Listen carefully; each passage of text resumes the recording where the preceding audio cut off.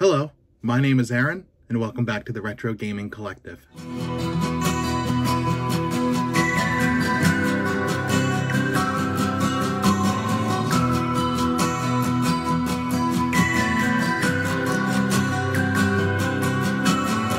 If you are watching this Easter week of 2021, um, then I am currently away in Disney World with my wife.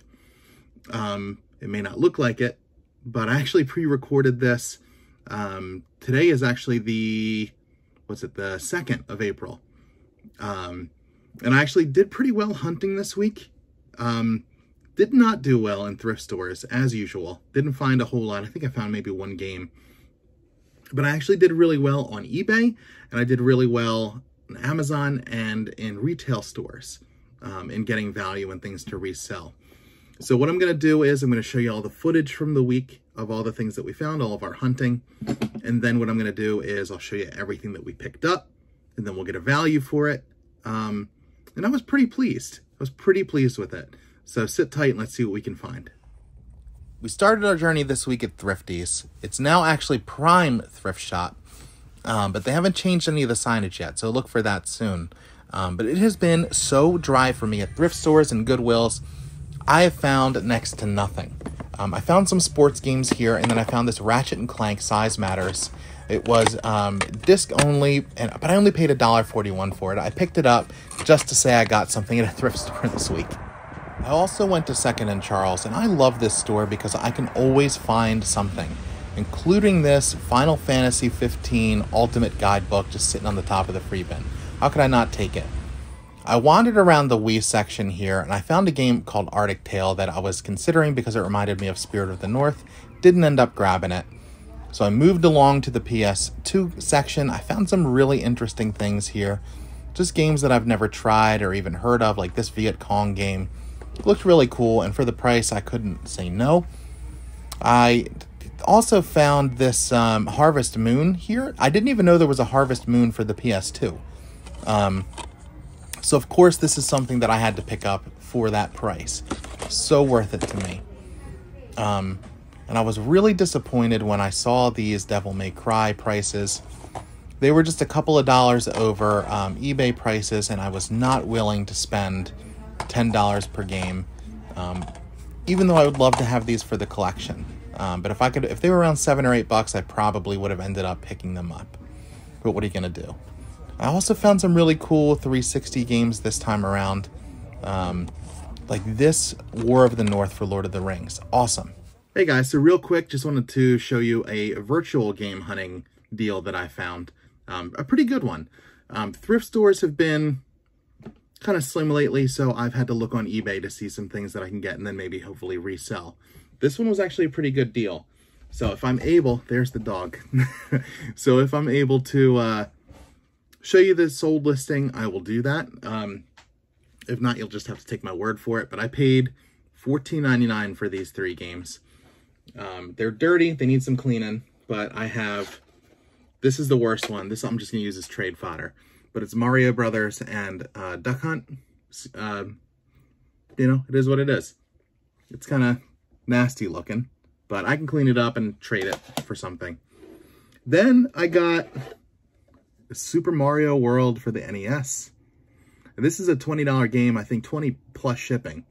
Um, so I will make my money back on this one just, uh, you know, on its own. Um, it does need some cleaning. It's pretty, I mean, you guys, if you see my other videos, you know I'm pretty good at cleaning these up and making them look brand new. So that I will do with this. And then I also picked up Super Mario Brothers 2. Um, and this is maybe a $24, $25 game plus shipping. Um, so I will definitely be able to turn a profit with these. Now, this one I might have to take apart. I don't know if you can hear that. Get that out of there. I don't know what it is, um, but definitely needs some cleaning. Um, but again, $5 a piece. Not bad. I'll take it. Let's see what else we can find. Our final stop of the week was at GameStop. No, I don't always stop here, but for some reason I felt like it uh, on this day, and I'm really glad that I did because I found this really sweet deal. Five games, 19.99 and under for 50 bucks. I looked at the PS4 games. I didn't find a whole lot, but I went ham on the Switch games. Found such good stuff here for the price. All right, guys, so just got done in GameStop. Please pardon my mask beard.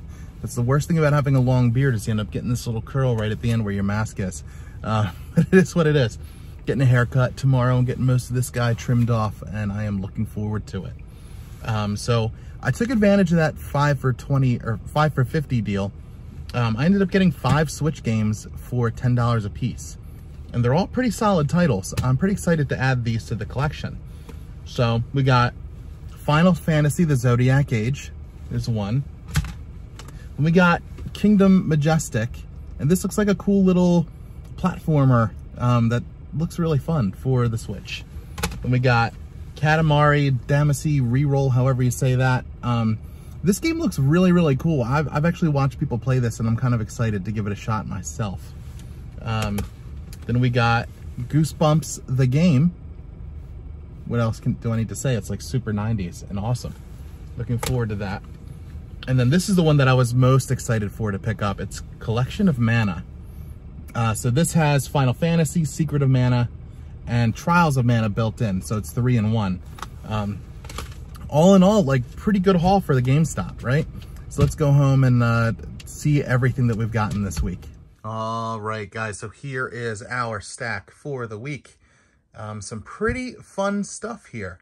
Um, so what I'm going to do now is I'm going to price chart everything. We're going to get a value, and then we'll talk about how well we did. This is everything that we have picked up this week. Pretty good haul, if you ask me. Um, so what we're going to do now is we're going to break everything down by pickup, and we're going to talk about how we did. Before we do that, we have the trusty hound over here. Um, keeping an eye on things. He's losing his hair because he won't stop scratching himself. He is not sick. He's just dirty and stinky. But what are you going to do? Um, so let's start here. These six games here, these ones we picked up at Second and Charles. And I'm, I'm actually really pleased with this group of pickups. We got Crash Tag Team Racing for PlayStation 2. We got Harvest Moon Save the Homeland. Then we got Viet Cong Purple Haze. Um, and then for the 360, we got Quake 4. I actually got this for $2.95. Not a bad deal. It's got some sticker residue, but nothing that I can't handle. I've handled much worse than that, so uh, we'll get that off easily. We got Final Fantasy 13, and then Lord of the Rings War in the North. And again, same thing. A lot of these games, we have some sticker residue, but nothing that I can't handle. Then up here, oh, hello, no licking. this is this is the problem when you have have a dog who um, has to be in the middle of everything. Um, we have Die Hard Vendetta here. I actually got this off of Amazon for a little over $5, and it's worth around 10 um, It does have some sticker residue, but again, nothing too crazy, nothing that I can't handle.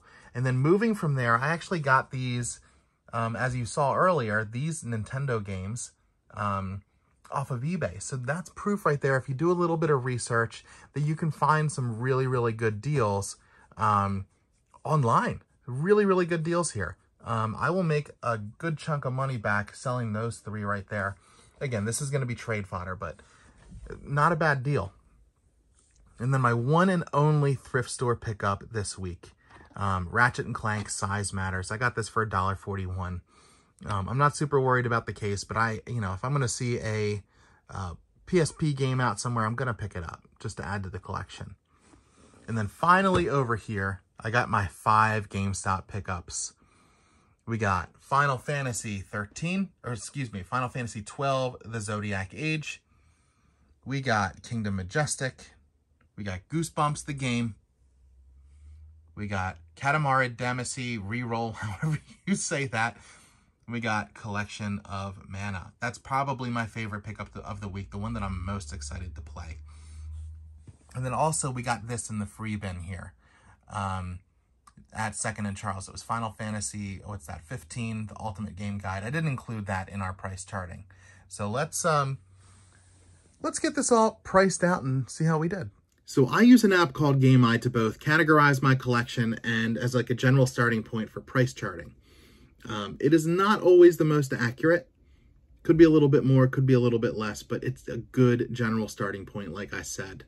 Um, so out of pocket, we're looking at about 110 this week. Um, and then as of April 2nd, 2021, which is today, for me, not for you, um, we're looking at a total value of about $217. So a pretty good week. Um, you know, I could easily make my money back here. I could sell a whole bunch of stuff out of this and, and do really well. I really could sell most of just the Switch stuff and make a lot of money back. Um, the Switch stuff, and then I could also sell the, the NES, SNES stuff because I have all of those. Um, but that's really all I have for you guys this week. I really appreciate you guys checking out uh, the video. And if Easter has passed, I hope that you had a great Easter. And I hope that you got to spend a lot of time with your family if you celebrate Easter like I do with my family. Um, but if you guys like this kind of content, if you enjoy game hunting, if you enjoy collection videos, game room tours, things like that, toys, all that stuff, feel free to like and subscribe. Um, you can comment here if you have questions, if you want to, you know, say, hey, you paid too much for that, whatever. Like, let's talk about it.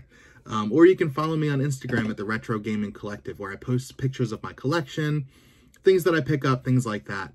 Uh, but again, thank you guys so much, and uh, until next time, happy hunting.